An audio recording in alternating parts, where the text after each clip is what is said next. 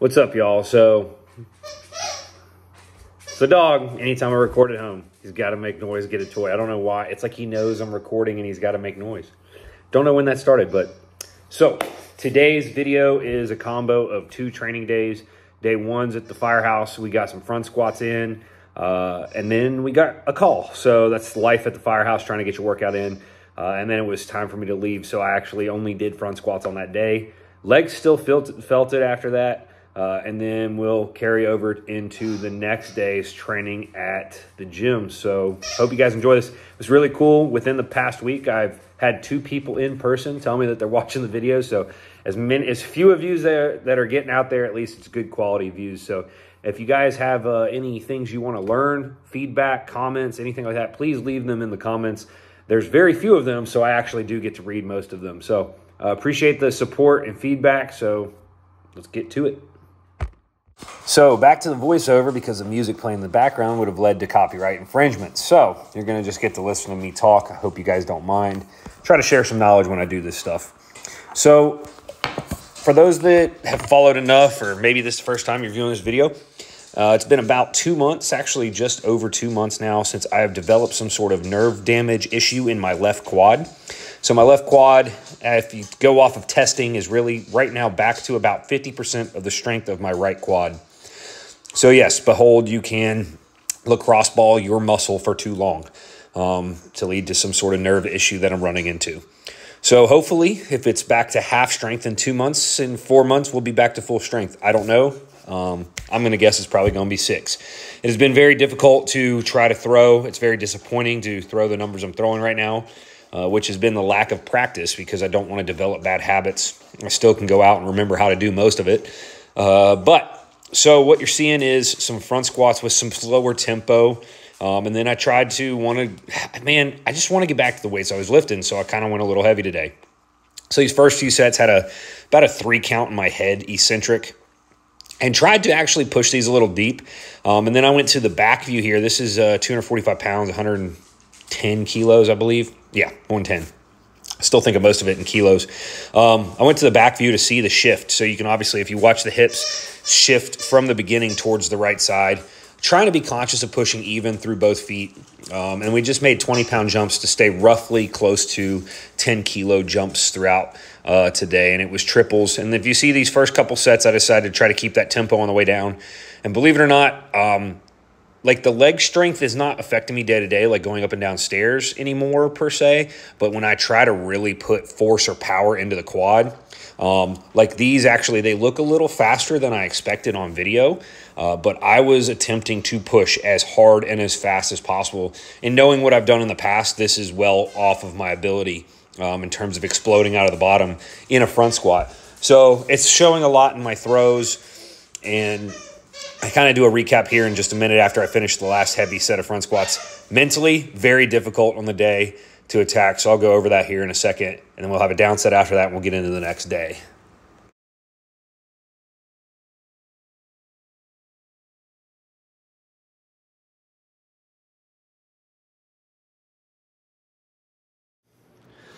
All right, so real talk, that set honestly scared me a little bit. Um, mentally, getting ready for it.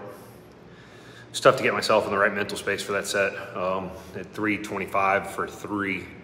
Um, I think it's because I did the math. I was getting a little excited and did the math and off of estimated 1RMs, if I could get that set, which was 147 kilos, to where I'm at now, it estimates you at 161 out of 185 kilos was my best back in December. So still, it feels a lot further off than that. Um, just the, I think it's the power, the speed and power in the movement. Um, it feels slow. I can definitely feel myself shifting, but I guess it's a good mental win on that one. Um, doing everything I can to push this damn quad to get back to life for this season.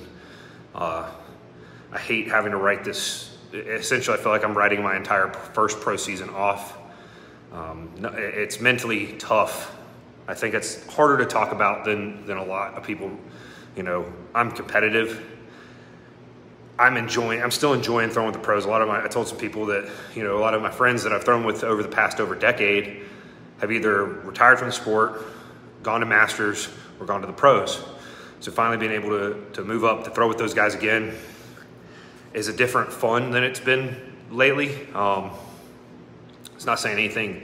I had a ton of fun the past couple years throwing with some of the guys that I threw with a lot. It's just different.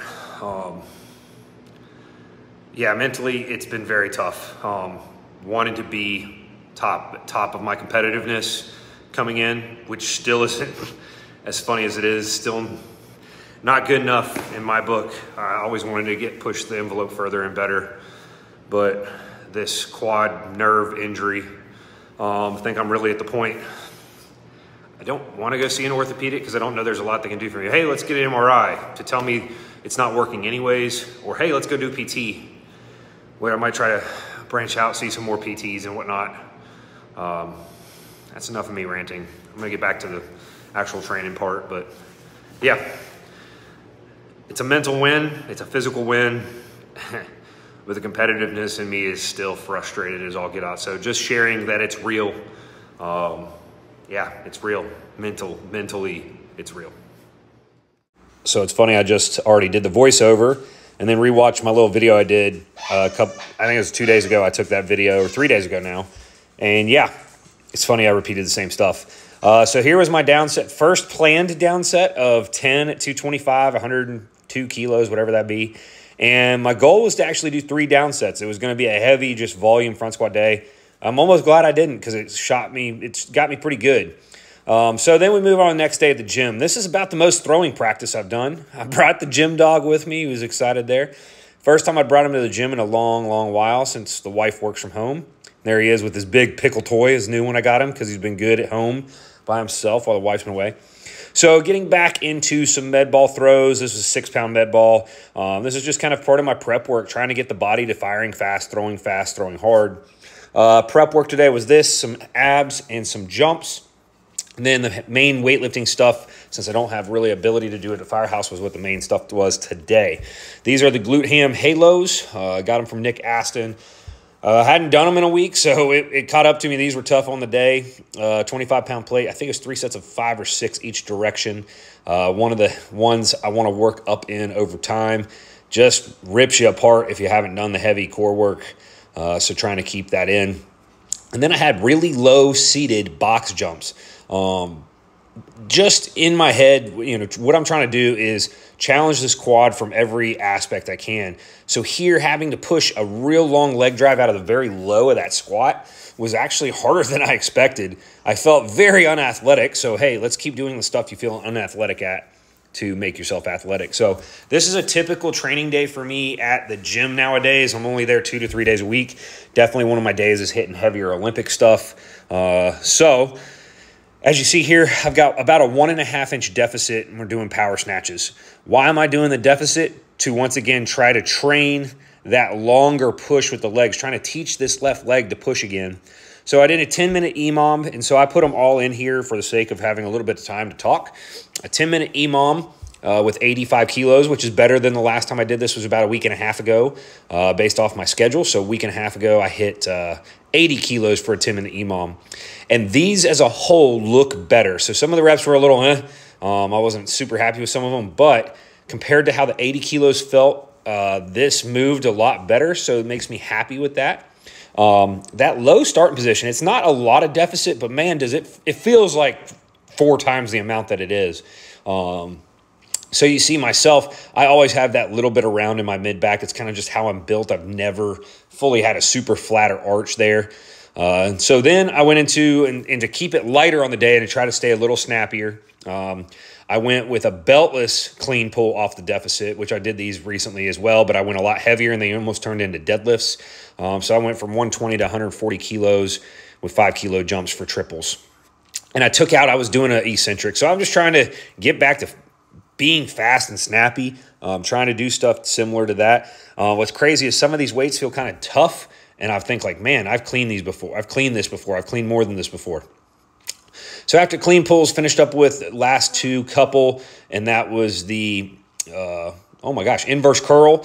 And I was kind of talking and coaching one of the guys standing there, uh, newer guy at the gym, uh, a little bit about them as we were doing them. So that's kind of why maybe you see me talking and uh, kind of talking about what some of the things I'm cueing on in doing this. That's kind of explaining why I really enjoy this movement with the chains. Uh, realistically, on this machine, when you come towards the top, it gets easier. So I want less help at the top um, and more help at the bottom, which mimics exactly what a chain does. And I vary my resistance. I'm kind of talking to him saying some days I go heavier plates, uh, more plate weight, less chain weight. Some days I do more reps, some days I do less reps. I play around with this a lot and probably do the inverse curl at least two times a week right now, um, trying to get back into doing it. And then at the very end, you can kind of see how pathetic my single leg leg curls are. Uh, so, or excuse me, leg extensions, how little weight's moving on that weight stack. There's the right leg, very easy, explosive. And then the left, I really have to try. So, uh, appreciate you guys following to this point and being interested to this point. Like I said previously, give me some feedback, some comments, and uh, yeah, let me know what you think. And we'll keep training, we'll keep getting after it, hopefully getting better down the road as the year goes on.